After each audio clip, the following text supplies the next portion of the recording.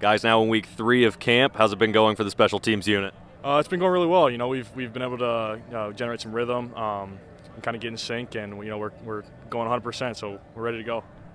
Yeah, it's been going well. We've uh, really been focusing on just the little things, uh, little things in our form, just tightening it up, getting ready for game week.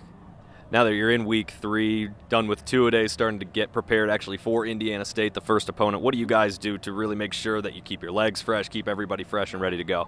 Um, it's critical to stretch after every practice. You know, get in the ice tubs. Uh, I, I, cold tub two or three times a day. Um, make sure I stretch, roll out. You know, just try to hit quality balls, but you know, it's it's it's quality over quantity. So um, just try to hit, you know, as few as, as few good balls possible as you can.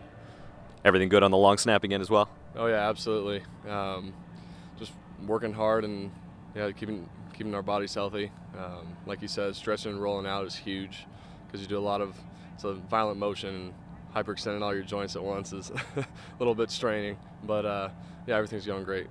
With you guys being such an experienced group, particularly you two working together from the long snap to the hold, how beneficial is that? That you guys have been around with the same group of guys, and then even this young group that's coming in. How have you guys tried to lead them here in their first preseason camp?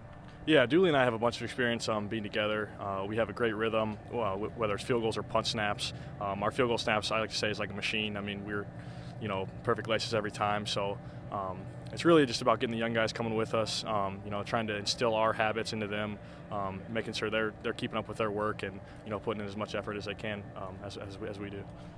Yeah, like you said, I mean, three years together, um, going on four, just getting tens of thousands of reps, field goal and punt.